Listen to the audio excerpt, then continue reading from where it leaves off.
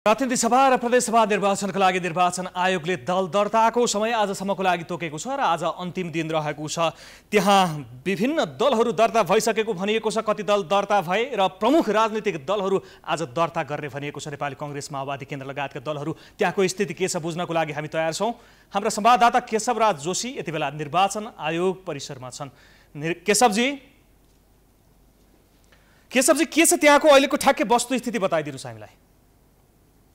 जीवनजी अहिलेसम्ममा सत्तरीवटा दलहरू दर्ता भएका छन्। एक हिसाबले जनमत पार्टीले पै एक नम्बरमा पार्टी दर्ता गराएको थियो भने अहिले जनजागरण पार्टीले सत्तरीौँ दलको रूपमा यहाँ भर्खरै दर्ता सम्पन्न गरेको छ दर्ता प्रक्रियामै छ। यहाँ हामी देख्न सक्छौँ आज दल दर्ताको अन्तिम दिन विभिन्न दलहरू जे जति छुटेका थिए योभन्दा अगाडि आज दल दर्ताको प्रक्रियामा अगाडि आएका छन्। नेकपा माओवादी केन्द्रले दल दर्ता गरिसकेको छ योभन्दा अगाडि नै तर जसरी संयुक्त रूपमा डाक्टर बाबुराम भट्टराईको नेपाल समाजवादी पार्टी त्यस्तै राष्ट्रिय एकता अभियान वामदेव गौतमको राष्ट्रिय एकता अभियान एउटै चुनाव चिन्ह गोलाकारभित्रको हँसिया हथौडा चुनाव चिन्ह लिएर निर्वाचनमा होमिने सहमति समझदारी बनेको थियो।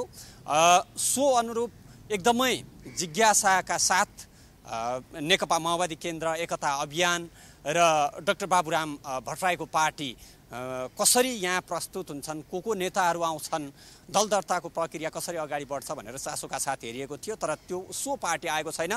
र अहिले नेपाली काङ्ग्रेस पनि दल दर्ताका लागि आइपुगेको छैन। अन्य दलहरू केही दलहरू छुटेका दलहरूको दर्ता प्रक्रिया कायम छ अहिले अहिले भइरहेको छ केही दलहरू दर्ता भइरहेका छन् भने सत्तरीवटा दलहरू दर्ता भइसकेका छन् जीवनजी हजुर अब नेपाली कङ्ग्रेस जुन अहिलेसम्म आएको छैन भनिएको छ अब के छ? नेपाली कङ्ग्रेस अहिलेसम्म उपस्थित नहुनुको कारण चाहिँ के छ केही बुझ्नु भएको छ?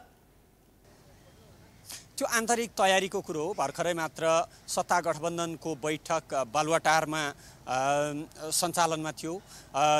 र अन्य अन्य प्राविधिक कुराहरू पनि मिलाएर तिन बजेसम्मको समयमा आइपुग्ने भन्ने हामीलाई प्रारम्भिक सूचना प्राप्त भएको छ। नेपाली काङ्ग्रेस तिन बजेसम्ममा आइपुग्छ भनिएको छ।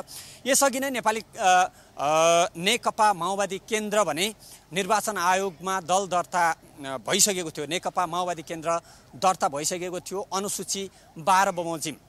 राजनैतिक दल सम्बन्धी नियमावली दुई हजार चौहत्तरको अनुसूची बाह्र बमोजिम दर्ता भएको थियो र अब संयुक्त रूपमा एउटै निर्वाचन चिन्हसहित अ, निर्वाचनमा जाने भइसकेपछि अनुसूची तेह्र बमोजिम यहाँ दल दर्ता गर्नेछन्। एक बजे आउने भन्ने सूचना हामीलाई प्राप्त भएको थियो तर अहिलेसम्म आइपुगेका छैनन्। जीवनजी यहाँ दल दर्ताको अवस्था के छ? म त्यो थोरै त्यहाँको दृश्य पनि देखाउँछु तपाईँ र तपाईँ मार्फत हाम्रा दर्शकहरूलाई यहाँ दल दर्ताका लागि आइरहेको यो दृश्य हामीले देख्न सक्छौँ। अहिलेसम्ममा सत्तरीवटा दलहरू निर्वाचन आयोगमा दर्ता भइसकेका छन् र अहिले पनि दल दर्ताको प्रक्रिया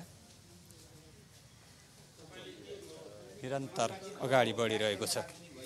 कति निकै टाइम लाग्दो रहेछ। तपाईँ त बिहानैदेखि आउनु भएको हजुर हजुर सर।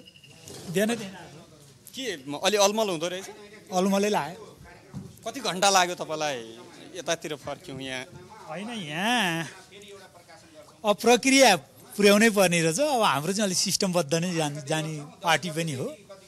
र त्यो हिसाब किताबले प्रक्रिया पुर्याउँदाखेरि समय डेढ दुई तिन चार घन्टा लाग्दो रहेछ। कागजै बोक्नु भएको थिएन के हो चाहिने चाहिँ होइन बोकिया थिएँ। पुरै कि ल्याउँदै प्रिन्ट गर्दै फेरि थप्दै चाहिएको होइन होइन। हाम्रो त माइ माइन्टिङ रजिस्टर सहित पुरै उ आएर नि आयो। सबै सबै सबै सबै छ। र हाम्रो यो पार्टीले वास्तवमा हाम्रो यो एउटा मोर्चा हो। हामी अहिले तिन दलका आबद्ध छौँ। आधुनिक नेपाल पार्टी। आधुनिक नेपाल पार्टी। समाजवादी- आधुनिक नेपाल समाजवादी छाड्नु भएन होइन आधुनिक नेपाल समाजवादी पार्टी र अनि हाम्रो समाजवादी केन्द्र र अर्को नेकपा समाजवादी पार्टी। भनेपछि समाजवादी केन्द्र अर्को बनेको भए तपाईँहरूले नाम पहिल्यै हत्याइसकेको हुने। होइन होइन हाम्रो त्यो होइन।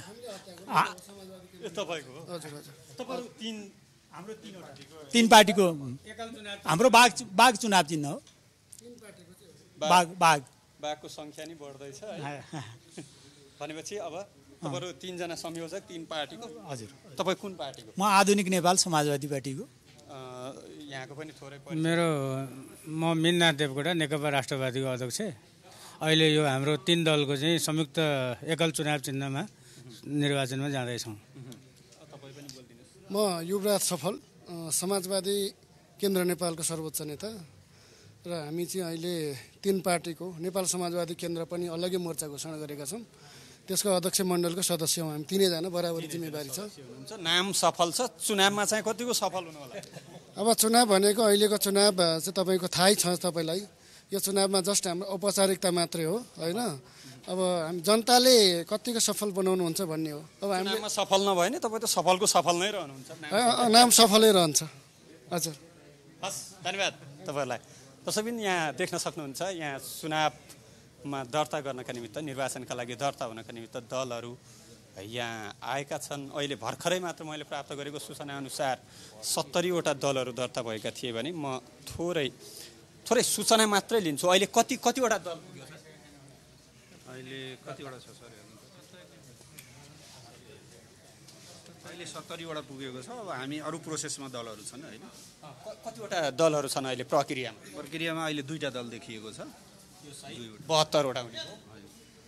कङ्ग्रेस लगायत लगायत त्यो त अब आउन दुईवटावटा भएको प्रक्रियामा कस्तो छ भने यो तपाईँको एकल चिन्ह लिएर होइन एक एक वा सोभन्दा बढी दल होइन दुई वा सोभन्दा बढी दलहरू चाहिँ एकल चिन्ह लिएर पनि आउन सक्छन् होइन। त्यो प्रक्रियामा अहिले चाहिँ दुईवटा समूह आएको छ होइन। दलहरूको समूह भनौँ न। त्यसमा तिनवटा दलको एउटा आइरहेको छ अर्को पनि तिनवटा दलकै अहिले मैले हेरिरहेको फाइल हो होइन। त्यो चाहिँ भनौँ न छवटा दलको दुईवटा चिन्हबाट जाने भयो होइन? भनेको उहाँहरू यसअघि नै निर्वाचन आयोगमा दर्ता भइसक्नु भएको थियो कि यसले सङ्ख्या बढाउँछ कि घटाउँछ? होइन सङ्ख्या त घटाउने भन्दा पनि अब यो त निर्णय भएपछिको कुरा हो होइन? कुनै दल आएको हुनसक्छ अब हामीले हेरेपछि मात्रै थाहा हुन्छ त्यो फाइल हेरेपछि। यो अनुसूची तेह्र अनुसार चाहिँ एकल चुनाव चिन्ह लिएर आउन चाहिँ सक्ने प्रावधान छ त्यही अनुसार आउनु भएको छ उहाँहरू। कति कति बजेसम्म दल दर्ताका लागि आउँदा हुने हो समय? अब आज अन्तिम दिन हो हाम्रो एकतिस गते लास्ट आज। अब पाँच बजेसम्म हाम्रो समय हो कार्यालय समय हो। अब गेटभित्र पाँच बजेभित्र छिरिसकेका दलहरूलाई चाहिँ हामी अब जति बेलासम्म पनि हामी त्यो दर्ता गरेर टुङ्ग्याउँछौँ। सरको परिचय पनि दिनुहोस्। म मधुकर पोखरेल शाखा अधिकृत राजनीतिक दल व्यवस्थापन शाखामा अहिले आयोगमा काम गर्छु। हस् धन्यवाद सर। मधुकर सर दर्शकबिन यहाँहरूले देख्न सक्नुहुन्छ यहाँ दल दर्ताको प्रक्रिया अगाडि बढिरहेको छ। केही दलहरू राजनैतिक दल सम्बन्धी नियमावली दुई हजार चौहत्तरको अनुसूची बाह्र बमोजिम यसअघि नै दर्ता भइसकेका थिए। आफ्नै निर्वाचन चिन्हबाट निर्वाचन लड्नका लागि भने संयुक्त निर्वाचन चिन्हबाट चुनाव लड्नका निमित्त आज केही दलहरू संयुक्त चुनाव चिन्हसहित यहाँ फेरि अनुसूची तेह्र बमोजिम दर्ता हुनका निमित्त आइरहेका छन्। त्यही अनुरूप नेकपा माओवादी केन्द्र डाक्टर बाबुराम भट्टराईको नेपाल समाजवादी पार्टी लगायतका दलहरू पनि यहाँ आइरहेका छन्। हामी देख्न सक्छौँ यहाँ नयाँ वामदेव गौतम आउनुभएको छ। नमस्कार। तपाईँलाई स्वागत छ हामी लाइभमा छौँ। अब तपाईँले के निर्वाचन चिन्हसँगै निर्वाचन क्षेत्र पनि परिवर्तन गर्ने कुरो हो? क्षेत्र परिवर्तन कहाँ गरेछ र? होइन तपाईँ प्युठानतिर जाने भन्ने ए प्युठान त मेरो निर्वाचन क्षेत्र नै हो। बरु प्युठान छोडेर अन्यत्र गएको थिएँ म पहिले। पहिला चाहिँ गएको थिएँ। अहिले केही कानुनी विषयमा सरसल्लाह गर्न परेको हुनाले म यहाँ आएको छु। अहिले भर्खरै मेरो विषयमा जम्मै टुङ्गो लागेको छैन। ए, यहाँ भनेको गोलाकारभित्रको हँसिया हथौडा चिन्हबाट तपाईँहरू संयुक्त रूपमा चुनाव एउटै चुनाव चिन्ह र एउटै घोषणापत्र लिएर जाने भन्नेको टुङ्गो अन्तिम टुङ्गो लागेको छैन? लागेको छैन। भनेको तपाईँ छुट्टै दल दर्ताका लागि हो अहिले? होइन होइन। मेरो दर त दर्ता भइसक्यो। ए तपाईँको अहो तपाईँको भइसकेको छ। अँ, एकता अभियान भइसक्यो। त्यो निर्वाचन चिन्ह हँसिया गोलाकारभित्रको हँसिया हथौडा ल्याउने सम्बन्धमा समझदारी भएको छ। तर कानुनी प्रक्रिया के के छन् भनेर भन्ने बाँकी छ। अहिले चाहिँ के का लागि आउनु भयो त्यही कानुनी प्रक्रिया के छ कसो छ जटिलताहरू केही छन् कि फुकाउनको निम्ति भनेर राष्ट्रिय सभा छोडेर प्रतिनिधि सभा जान खोज्यो। भनेको कति माग्नु भएको छ तपाईँहरूले अहिले प्रतिनिधि सभामा एउटा सिट र प्रदेशमा दुईटा भन्ने छ यो। अनि प्र यो- त्यो न्यूनतम हो। हामीले बस्दाखेरि बसेर छलफल गर्दाखेरि के कसो हुन्छ त्यो त पछि मात्रै भन्न सकिन्छ। अहिले भर्खर भन्न सकिन्छ। गठबन्धन सदस्य भएको छैन। छैन अझै। जोस हुने प्रक्रियामा हुनुहुन्छ अब यहाँ दर्ता भइसकेपछि सत्ता सत्ता गठबन्धन भन्दाखेरि त्यहाँ त्यो गठबन्धनको प्रतिनिधित्व गर्ने गरी नै जान पर्यो। म जाँदैन त्यसरी। मेरो मेरो मेरो गठबन्धन माओवादी केन्द्र त सत्ता गठबन्धनको एउटा प्रमुख घटक हो। त्यही माओवादी केन्द्रसित मेरो गठबन्धन हो। र फेरि तपाईँहरू त चुनावपछि त फेरि एकता उपगठबन्धन गठबन्धन भित्रको गठबन्धन हो यो। भनेको चुनावपछि त फेरि तपाईँहरू एउटै दल बन्ने प्रक्रियामा अगाडि बढ्छौँ भनेर माओवादी नेताहरूले प्रतिक्रिया दिइरहेका छन्। त्यसरी मैले पनि त्यो प्रतिक्रिया दिइरहेको छु। मैले पचहत्तर साल जेठ तिन गते निर्माण गरेको नेकपालाई पुनस्थापित गर्ने हो। उहाँहरूले माओवादी गर्न भएको छ माओवादी त्यहाँ एकीकृत भइसकेको छ। उतातिर एकीकृत हुने अनि यहाँ फेरि एकीकृत हुने होला। त म त्यो अभियानमा छँदैछु। तत्कालीन नेकपा फुटाउन प्रचण्डको ठुलो हात छ भन्दै हुनुहुन्थ्यो फेरि तपाईँ प्रचण्डसँगै होइन मैले ठुलो हात छ भनेर कहाँ भने मैले? त्यो त पटक पटक भनेको छैन। पटक पटक भनेको छैन। आफूले अर्थ लगाएका हुन् मिडियामा त्यसरी आएको हो। त्यो जानी नजानी सचिवालयमा रहेका नौजनाको यो वा त्यो भूमिका छ। त्यसमध्ये दुईवटा अध्यक्षको प्रमुख भूमिका हो। उहाँहरूले चाहेको भए पार्टी जोगाउन सक्नुहुन्थ्यो। र उहाँहरू पछि मैले मात्रै चाहेको भए पनि यो पार्टी फुट्न सक्छ यसो गर्न हुन्न भनेर भन्ने दिमागमा आएको भए मैले पनि फुट्न नदिने भूमिका खेल्न सक्थेँ। आफ्नो समीक्षा आफ्नो पनि गरेको छु गरेको छु मेरो पनि मेरो पनि त्यो फुटाउन चाहन्छु भनेर चाहिँ अहम भूमिका तपाईँको हो। यस्तै यस्तै व्यक्तिले बिगारे हुन् कुरो बिगारिदिन्छन्। त्यो अहम भूमिका होइन। म अन्तिम बेलामा पार्टी भिडन्त हुने अवस्थामा पुग्ने बेलामा मैले कमरेड केपी ओलीलाई उहाँ समेत हामी पाँचजनाले प्रचण्डलाई मैले पाँच केपी ओलीको विरुद्ध हामीले उन्नाइस पेजको हामीले आरोपपत्र लगाएका थियौँ। त्यो आरोपपत्र फिर्ता लिनुहोस् हामीले भनेर भन्न गएको थिएँ म प्रचण्डलाई। यो पार्टी फुट्ने भयो नफुट्नको निम्ति यसो गर्न पर्यो भन्न गएको थिएँ। त्यो त्यसमा म सफल हुन सकिनँ। अब त्यसो भएर अन्तिममा प्रतिनिधि सभा भङ्ग हुने त्यसपछि अविश्वास प्रस्ताव राख्ने आदि इत्यादि भयो। त्यस्तो अवस्थामा म अलग भएँ। म यो फुटाउनकै निम्ति हस्ताक्षर गर्ने काम गर्ने सक्रिय हुने मैले काम गरेको होइन। मेरो त प्रकारान्तरले त्यस्तो पर्न गयो सत्ता गठबन्धन बाहिर चाहिँ तपाईँ कसरी रहनु किन किन तपाईँले मलाई चाहिँ सत्ताभन्दा बाहिर मेरो अस्तित्व देख्नुहुन्न र? यसैसँग मैले एउटा जोडी- जोडी हालेँ। तपाईँ तपाईँ गठबन्धनमा पनि छैन भन्नुहुन्छ। नेकपा माओवादी केन्द्रले गठबन्धनसँग साझेदारी गरेर निर्वाचनमा प्रतिस्पर्धा गर्दैछ। सिट बाँडफाँड पनि ऊ गठबन्धनमा रहेर गर्दैछ। तपाईँहरूको सिट बाँडफाँड चाहिँ माओवादीमा भागमा परेका सिटहरूसँग बाँडफाँड हुन्छ कि गठबन्धनसँग? अँ त्यस्तो केही होला उहाँले के जान्नु भएको छ? म गठबन्धनमा चाहिँ सामेल हुन्छु भनेर पहिले भनेको थिएँ। त्यो म गठबन्धनमा सामेल हुन पाइनँ सकिनँ। भन्नु न कस कसले चाहनु भएन होला। तर अहिले गोलाकारभित्रको चुनाव चिन्ह हँसी हथौडा भएको चुनाव चिन्हमा जाँदाखेरि मलाई सजिलो पर्ने भयो। चुनाव लड्न। चुनाव लड्न। तर भाग सत्ता गठबन्धनमा भाग माग्दाखेरि छुट्टा छुट्टै माग्ने कि माओवादीबाटै माग्ने? कता हो त्यो प्रचण्ड कामरेडलाई दाबी गर्नु पर्ला नि। प्रचण्डलाई जिम्मा दिएको छु। उहाँले माग दाबी गरेर ल्याउनुहुन्छ कि उहाँकैबाट दिनुहुन्छ? त्यो प्रचण्डजीको हिस्साबाट चाहिँ म मैले पाउने हो।